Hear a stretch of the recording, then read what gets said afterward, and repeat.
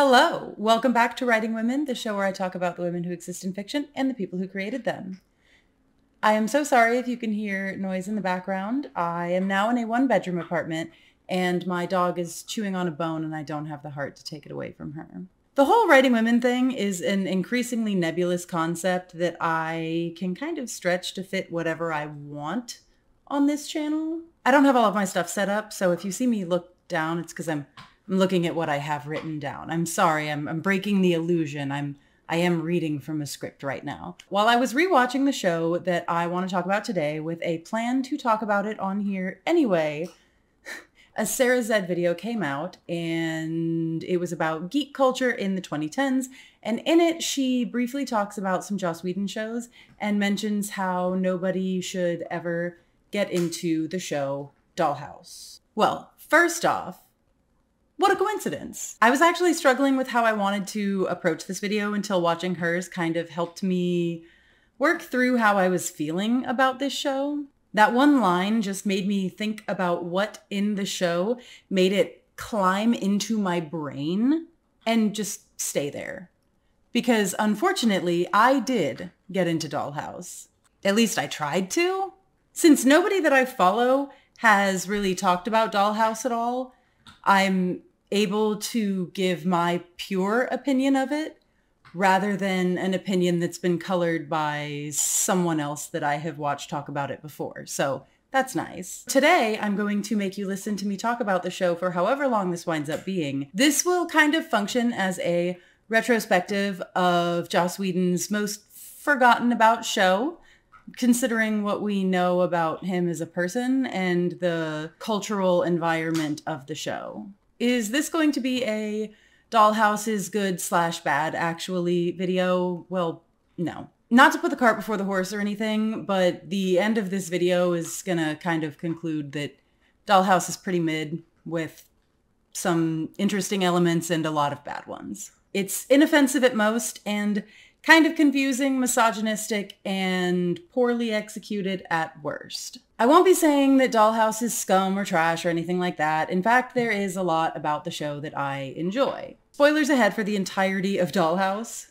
I would imagine that you, constant viewer, would be aware that there are going to be spoilers ahead, but just in case. Stop right now and watch it if you have any desire at all to see this show and not have every single big reveal of the plot absolutely ruined for you. It's on Hulu, and though I can't say that it's a phenomenal show, it might be worth a watch for you. At least before you hear somebody complain about it for an hour plus and maybe have that color your opinion of what you're getting into. Or if you're just a fan of Eliza Dushku and Alan Tudyk and Amy Acker and all of the other great actors that are in it. The only structure that this video is going to have is I'm going to go through season one and two separately. I have to split it like that because the second season feels like a completely different show from the first. Coming up, everything that I mention about a character or a plot development, unless otherwise stated, is going to be how everything is done in season one. And then I will specify when I'm moving on to season two. Let's talk about Dollhouse. Content warning for sexual abuse, trafficking, torture, a few other things. This show does get pretty gross, uh, so be ready for that.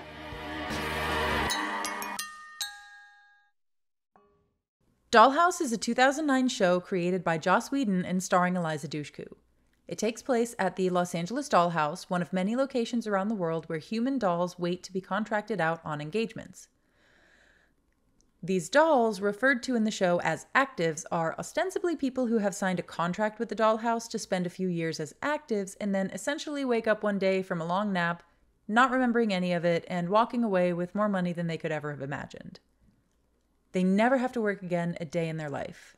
The whole contract thing is used to hand wave away any concerns that people in universe have over the ethics of this type of thing. Technically, none of them are victims of trafficking or slavery or anything because they signed a contract and therefore consented. And they're supposed to get a payday at the end, so technically it's not slave labor. But of course, by the end of season one, we see that that is not exactly true. Many actives were coerced into their service with the dollhouse. Alpha, an escaped active imprinted with dozens of personalities at once, was a prisoner when he was made an active. Victor, a combat veteran suffering from crippling PTSD. The main character didn't even consent to it on her own terms. She was trying to take down the dollhouse's parent company and got caught. This shady parent company is the Rossum Corporation. They are your standard world dominating corporation with its hands in a bunch of different sciency pies. In the first season, we also constantly hear about a place called the Attic, a place used to threaten employees and actives as a form of punishment. It's where dolls who are broken past their ability to be used are sent. It's also where they will send an average person who steps out of line. We later find out that once you go to the attic, you generally don't come back, so even people who freely sign themselves over to the dollhouse might wind up there with no hope of returning to their lives, essentially killing them. The show doesn't endorse the behavior or anything, but it does not go very far in condemning it either. They will say, oh, this is a bad thing to do, and then do it anyway. And then it never really comes back around to exposing the hypocrisy of what they're doing, the consequences of their actions, and really making them deal with it in any way. Dollhouse isn't the first science fiction property to use this concept of programmable human beings, and it for sure was not the last. There is a lot that can come from a concept like this. In Dollhouse, the first season kind of goes for this case of the week style, where each episode is a different genre. We've got one that is a thriller where Eliza Dushku's Echo, the main character, is rented to be the perfect date whose ultimate purpose is to sleep with, then be hunted down by the rich thrill seeker who paid for her time. Another episode is a heist gig where she is a cool, safe cracking mastermind. All of these weekly outings for the viewer kind of function as a way to ogle Eliza Dushku as she dresses hot and does cool things, while one or two characters shake their heads and briefly mention how, if you think about it, this whole setup is kind of messed up and basically slavery. The show's intro is a series of brief snippets where we see Echo getting dressed up and smoldering into the ether. In their doll state, the Los Angeles actives live in what amounts to an underground bunker fashioned into the fanciest day spa you've ever seen. They do yoga, arts and crafts, and listen to soothing music all the time. They are kept relaxed like this because it would be intensely traumatic for them to interact with anything loud or negative while in this blank slate state. Though here is where we come to my first real frustration with the show that jumps out from the very first episode. What was the reason for Echo to be styled this way when she's supposed to be an adult sized person with a baby brain? The male actives get to wear loose sweatpants and shirts, but God forbid we don't see the women in a full face of makeup with a glossy lip in their tight fitting, low cut, strappy tops showing off their perky chest. It really undermines the show's already limp efforts to address the darker implications of the doll's existence largely as sex slaves, when even in their doll state, the women absolutely must look totally perfect and sexy at all times if I can't see most of their body for every episode, what am I even watching the show for? The LA Dollhouse is run by Adele DeWitt, and honestly, she's one of the best parts about the show. Olivia Williams pulls off being the steely career woman while also showing a lot of vulnerability. Unfortunately, the character of Adele is a retread of the woman who gave up having a satisfying social life and fulfilling romantic life to be a successful businesswoman trope. It is a trope that I am intensely bored of and was already bored of in 2011 when I first watched Dollhouse. In one of her more vulnerable moments, we see that Adele is the true Mrs. Lonely Hearts client. She secretly contracts the doll Victor to basically be her perfect partner for a while before sending him back to the house. She does so pretty regularly because she's so lonely, but eventually ends this secret dalliance largely because of her shame. Each of the dolls has a handler, someone the dolls are programmed to recognize and feel safe around. They are given key phrases that trigger a response from the dolls. The most important of which being, Would you like a treatment? which is meant to get the doll under control during an engagement so they can be brought back into the house for their wife. Echo's handler early on in season one is Boyd Langton. Boyd is, well, we'll get to that once we talk about season two. Boyd is one of the best parts about season one, even though much of his character's purpose is to stop somebody and ask them about the morality of what they're doing. Nearly every episode has a moment where the scene focuses in on Boyd talking to someone and pointing out how, if you think about it, all of this slavery stuff is kind of messed up. Then it's just sort of brushed off, but he keeps his thinky face on, so we know that he doesn't exactly buy it. The handlers have very little oversight in the house. One episode attempts to address the power dynamics and the vulnerable position the dolls are in when one of them is raped by her handler, repeatedly. The active in question is Sierra, and we will get to her more later and why this whole episode doesn't sit right with me. Back on the subject of handlers, it is lightly acknowledged that the power dynamics of these relationships kind of suck, but then it immediately moves past any discussion of it. The handler who is assaulting his active is the only handler other than Boyd who we really get to know at all, and the show punishes him by having a sleeper active take him out. Thus, we are left with Boyd, a good guy who just wants to take care of Echo. It is not the system that is bad, you see. It is the individual people within the system who are taking advantage of it who are the bad ones. Topher is the tech guy at the dollhouse. He's your standard nerdy Whedon character. He's witty and says funny things and acts silly. He's assisted sometimes by Ivy. She isn't in most episodes, even in the background, and when she is in one, it seems that she almost exclusively exists to have Topher explain things to her and talk down to her. Ivy's presence in the show has a very backup effect feel. If you've watched the best show of the 2000s, Veronica Mars, this will be something you've likely noticed too in that show. Backup is the Mars family dog. He's a very good boy, and the name is meant to be a joke. When Veronica or her private eye father, Keith Daddy Mars, go out into a potentially dangerous situation, they make sure to bring backup. Backup as in the dog. Get it? It's it's funnier in the show. I'm I'm so sorry. One of the funniest things about the dog is how Backup does not exist at all unless he is out with one of the Mars family on an adventure. During the many scenes per episode where they are in their apartment, he isn't lounging around on the couch. There's no dog bed they walk past, no bags of dog food, nothing but this admittedly cool as hell poster on the wall indicates a dog anywhere. My theory is that Backup actually exists within the poster, and whenever they need him, they summon him from the two dimensional world. And that's basically Ivy and Dollhouse. She exists only when Topher needs someone to explain things to. She does not exist or have any character outside of her interactions with him. In fact, there doesn't seem to be much of any staff at the house except the ones I mention here.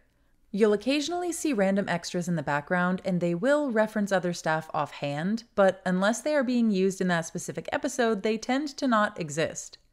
The only exception being the frequent shots of the actives wandering around like zombies while Boyd or Adele or whoever talk about them. It contributes to making the world feel very empty.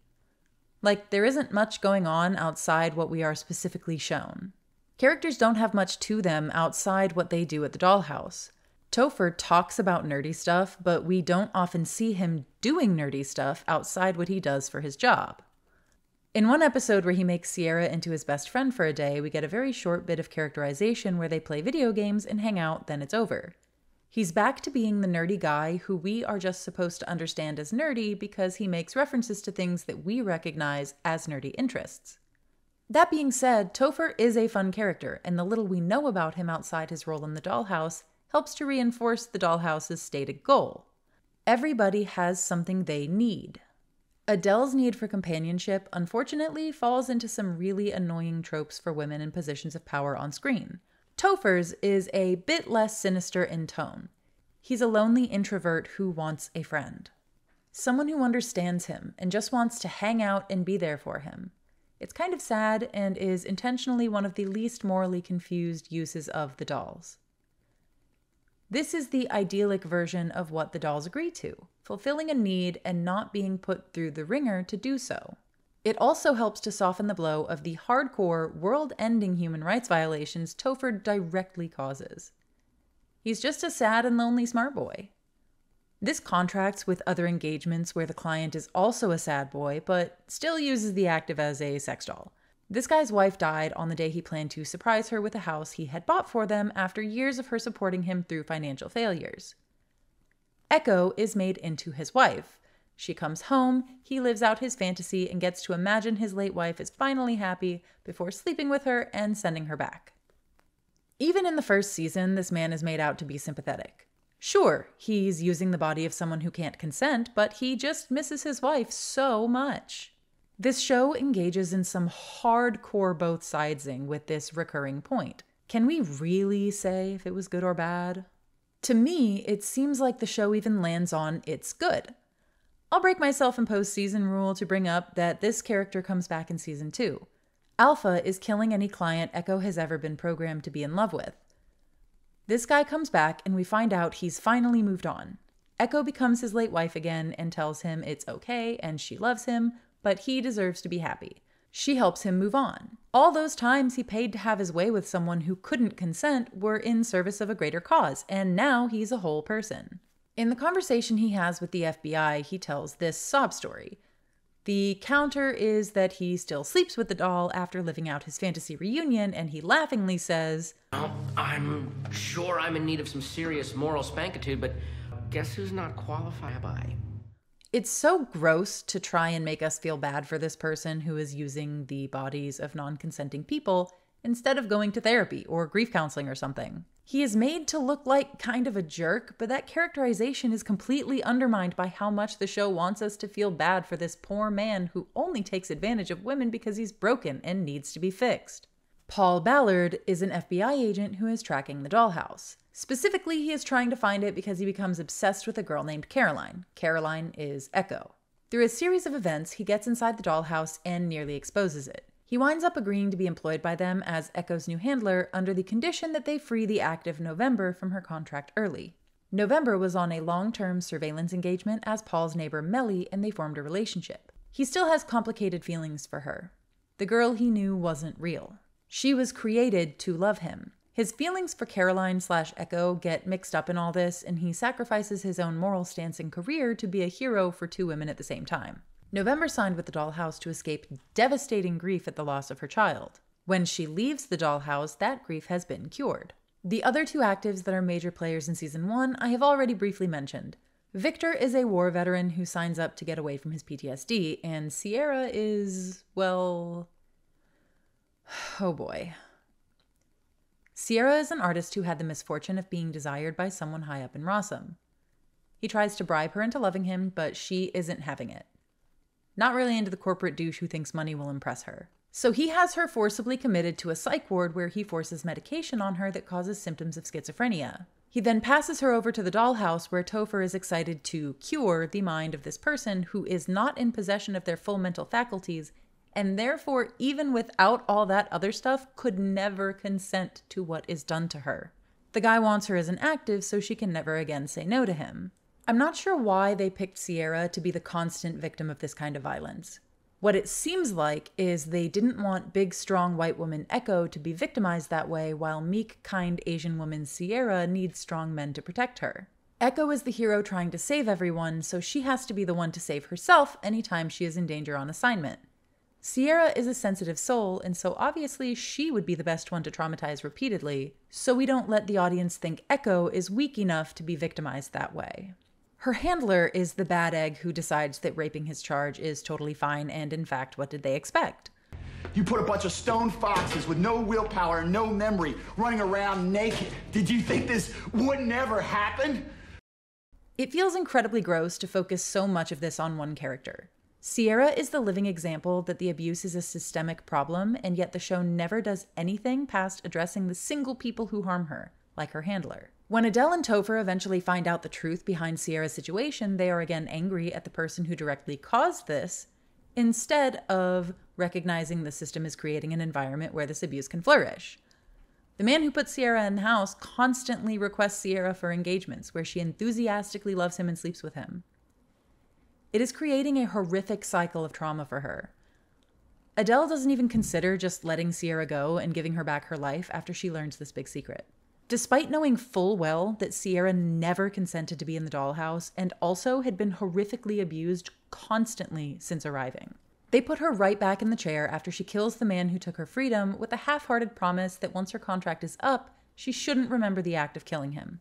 And mind you, this is all after the thing with her handler where Adele shows what an ally she is by having the handler killed before putting Sierra right back in these compromising positions and never acknowledging that maybe the existence of the house is the problem. Even with the main antagonist of the whole show being this evil corporation, they tiptoe around the idea of outright saying the abuse is a systemic problem and is instead the fault of specifically evil people and this specifically evil company.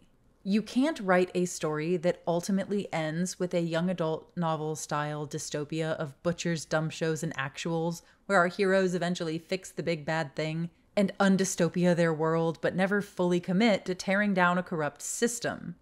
Instead, it is tearing down corrupt individuals and trying to repair the damage they specifically did to return the status quo of their world. A huge part of season one is that the actives start evolving. Technically, it all started with Alpha before the season even began, but then Echo picks it up before spreading it to the other actives. In their doll state, they are supposed to not remember anything, complete blank brain except recognizing staff at the house. They start to form friendships with other actives. Victor and Sierra fall in love and remember each other even when imprinted for an engagement. This leads to a pretty funny scene where Victor tries to tell Adele that he's breaking up with her during her last attempt at a fling with him before he's released after serving his time at the dollhouse. Sierra is haunted by memories of her various assaults, even in her doll state. This isn't supposed to happen, and it starts to bleed over more and more in her programming. Echo starts breaking through her engagement parameters and finding unique ways to solve problems. Agent Ballard nearly brings the house down before switching sides. Dollhouse security chief Lawrence Dominic, who hates Echo and tries to kill her, is revealed to be working for the government and is put in the attic against his will. To be tortured until the end of time, presumably. Alpha returns and kidnaps Echo before imprinting her with all of her personalities at once while putting the Caroline mind into the body of some random person. He tries to get them to talk to each other and have Echo metaphorically or literally end her own original self so she can evolve as a hive mind and be his perfect partner. We find out that Dr. Saunders, the mild mannered woman who treats the actives, is actually Alpha's early victim, but that's not all. She used to be an active, codename Whiskey. Alpha cut up her face around the time he flew off the handle and left the dollhouse in chaos. He killed the original Dr. Saunders, so Whiskey was made into a doctor as a permanent replacement for their last one. This all seems like it might be going somewhere exciting, but it isn't. The season just kind of ends there. The final episode wasn't even aired initially, so audiences left off at a moment with a lot of potential, but no follow through. On streaming or on a DVD release back in the day, you could watch the groundbreaking episode 12 titled Epitaph 1. It's a time skip forward 10 years to the year 2019, and the world is in chaos. Well, it was a chaotic year, but definitely not a cool sci fi kind of chaos. In this 2019, there has been a massive wipe of the population's minds and remote imprinting on people without the need for the active's configuration. Previously, to be able to use imprinting technology, the person's brain had to have stuff put in it to make the tech work. This breakthrough in research meant Rossum could just wipe the whole world and rule over the ruins. People were turned into crazed zombies, slaughtering everything in sight, or wandering blank slates incapable of comprehending anything. A group of refugees retaining their actual identities stumble into the remains of the LA dollhouse, and a blank whiskey guides them to an imprint of Caroline. One of them is given the imprint, and this new Caroline leads them away to a place they think will be safe from technology. No real resolution except to tease you with the way that we know this society is going. I get what they were going for here, but functionally, it takes away from any suspense you would feel in season two by telling you exactly what things will have to come to pass to get there. When season two starts with Echo just doing an average job again, it feels boring. This case of the week thing isn't working anymore because we're just waiting for the collapse we know most of the details about already. There's a lot of lore surrounding Dollhouse, and by lore, I mean rumors that circulate online, and a lot of people just take it as fact because it feels right. Most of the rumors about season two are some version of he found out about the show getting canceled halfway through season two, and that's why it's so bad. That's not technically true, but it's also not entirely untrue. What happened to Dollhouse is the first season was ordered and it underperformed. The show had really low viewership, pretty consistently, and the finale wasn't even shown at the end. Joss Whedon allegedly had planned out five seasons worth of content, only for him to be unsure of even getting a season two. This is probably why the first season feels so safe. Very detached episodes, loosely strung together with threads of an overarching story that maybe could pay off later. He got a season two, but definitely would not get a season three due to the previously mentioned underperforming. So the show became this roller coaster that would have to go through all of its ups and downs and loop-de-loops at a breakneck speed. Oh, Topher comes up with an invention that can remote wipe an active and has potential for dangerous uses? Well, Adele is going to steal those plans and give them to the new executive Rossum has put in her place to try and get on their good side. Except what's this? She was actually working for the good guys all along, and it was a big act to get Echo into the attic so she could try and get access to Rossum's secrets. They try to stretch this out over the course of a few episodes, making the viewer think that Adele has turned on them, but it doesn't really work because her heel turn comes out of nowhere and she is suddenly over the top, mustache twirlingly evil. I don't even think it makes sense to purposely give the most dangerous weapon directly to the bad guy in some long game ploy that isn't even likely to get any usable information, being that nobody actually knows what's happening in the attic. The show tries to do the same rug pull with Caroline. Bennett Halverson is introduced for the sole purpose of being a girl that Topher could start word vomiting about how hot and cool she is and how super weird it is for a girl to be a scientist. These geeky, smart, funny guys in Joss Whedon shows always strike me as the self inserts. So it doesn't bode well that they also tend to be casually misogynist. This girl scientist went to college with Caroline and was seemingly betrayed by her, so she tortures Echo as a form of revenge. We see the memory from Bennett's point of view, and it's a comic book villain scene where Caroline literally leaves her to die in a burning lab, while spouting off a line about not wanting to get caught.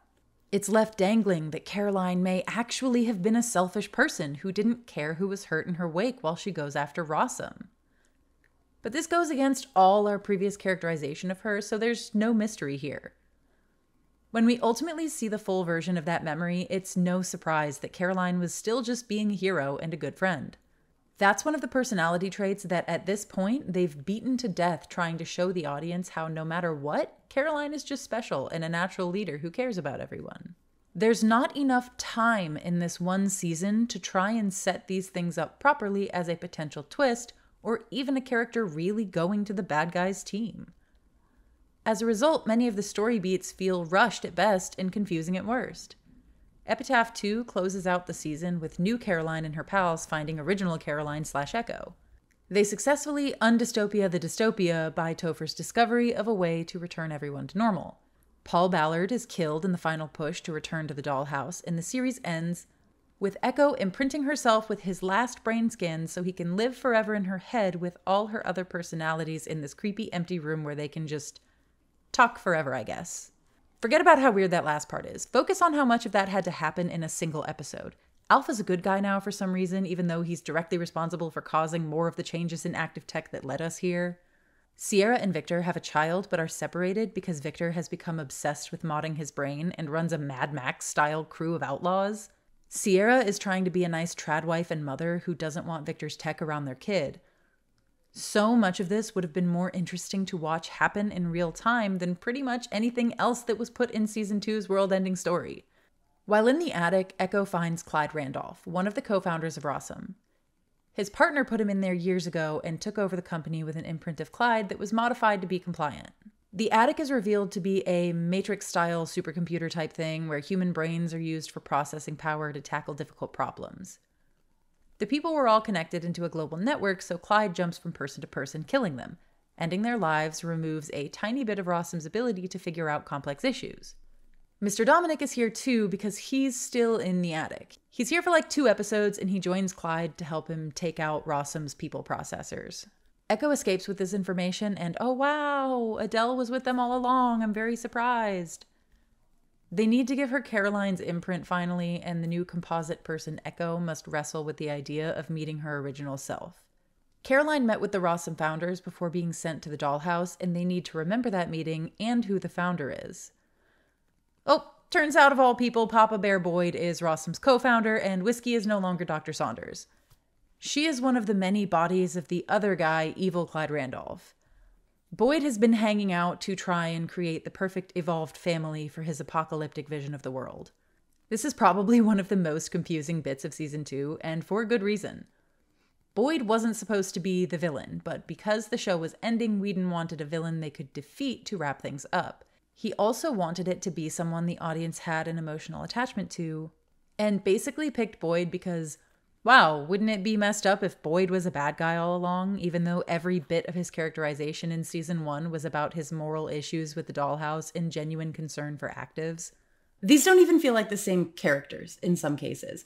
And in others, the show wastes valuable time trying to fake us out with them maybe being bad guys. When I first watched the show, I was convinced that the Boyd thing was another fake out. An attempt at a scenario where they make him so cartoonishly evil that by the end of the show, they'll pull the rug out and be like, aha, he was a good guy all along. They've done it so much at this point that it would follow in the trend of what the show was already doing. And then it wasn't. This was almost my there's a secret good episode of Sherlock that makes the horrible final season good somehow hill to die on. The ending didn't feel earned, and so it left an even worse impression than the first season. Too much concern for wrapping up the story, and not enough concern for what would actually make a good story.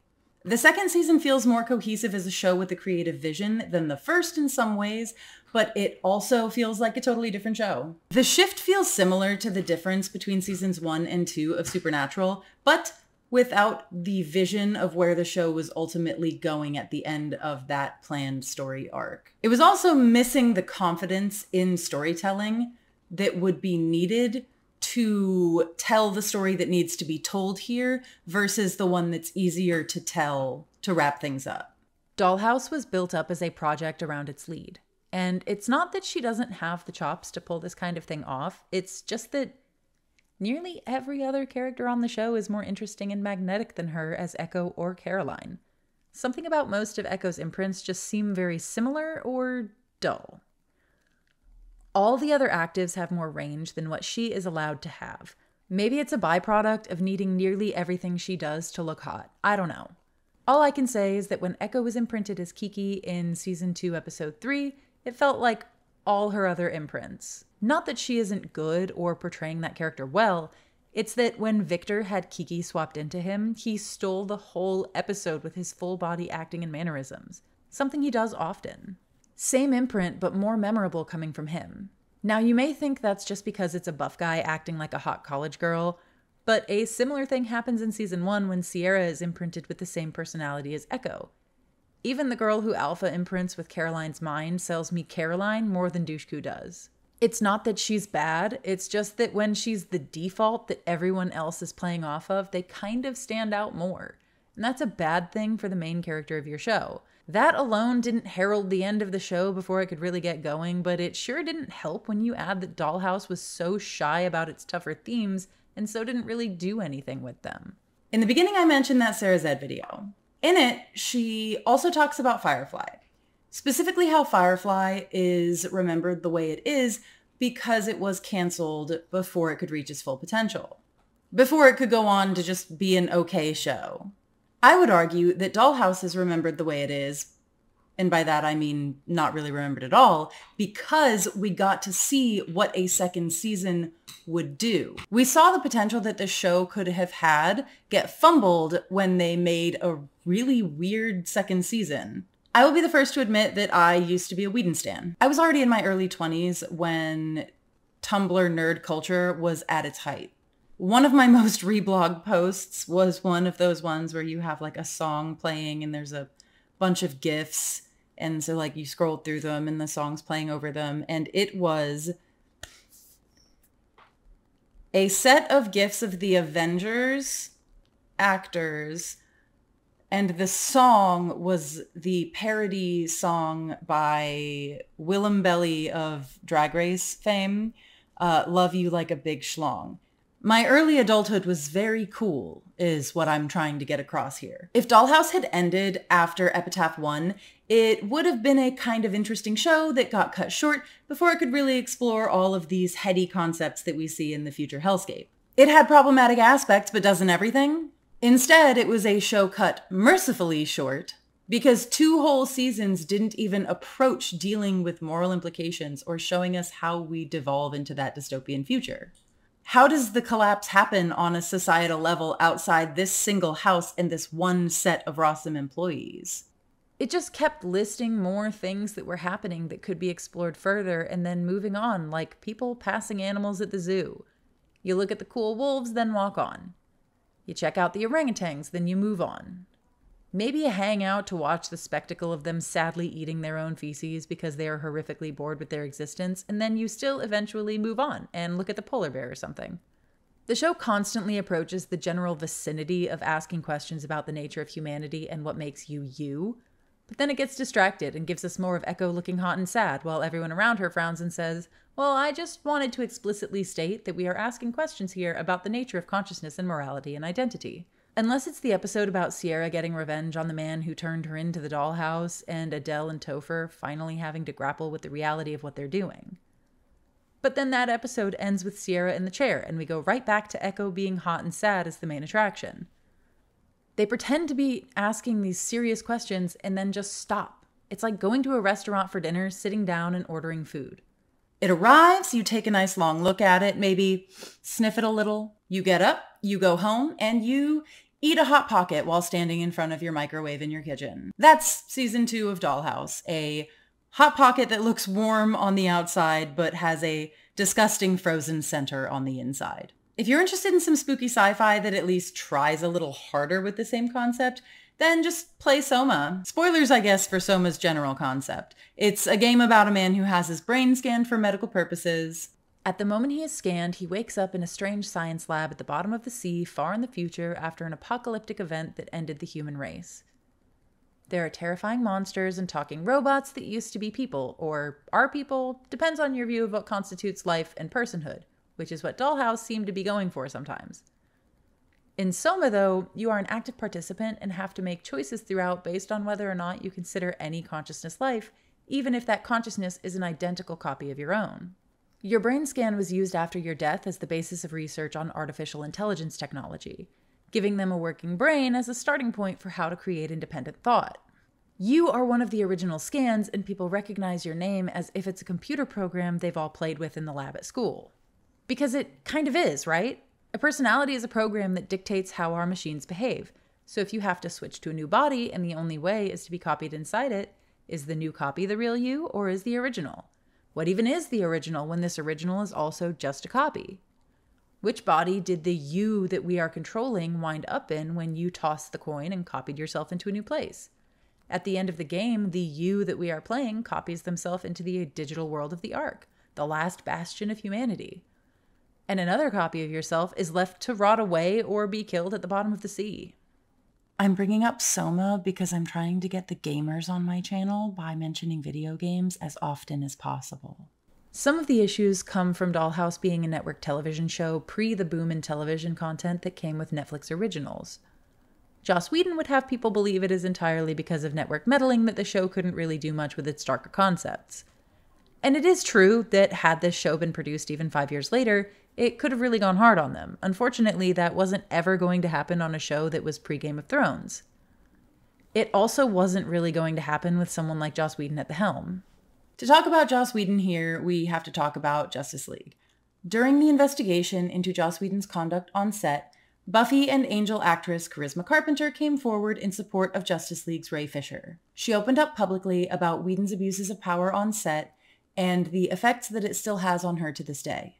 He allegedly publicly verbally abused her and privately accused her of trying to ruin the show by getting pregnant, apparently asking her if she planned to keep the baby and then firing her after she gave birth.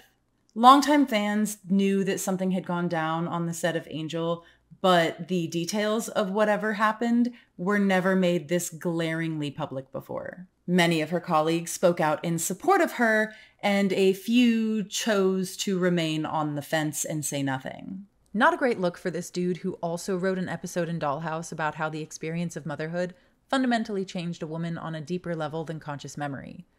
The mother instinct is so powerful and destructive that Echo ruins an engagement and further evolves away from her active state when she thinks she's experiencing being a mother. That's one of the reasons I have wanted to talk about this show for so many years. Every time we find out that one of these popular media figures is actually just a jerk or a bigot, there's a conversation about separating the art from the artist, blah, blah, blah. Then, when we actually look a bit more closely at the things they created, we can see that on some level, some of this stuff was already there in plain sight. Not always, but often enough that a blanket statement of separating the art from the artist never sits well with me. It is ultimately unproductive to engage with something as what you think it should have been rather than what it is.